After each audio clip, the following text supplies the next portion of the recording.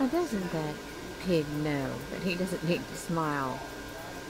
Even with the Santa Claus outfit on. There's a honey baked ham coupon in today's paper.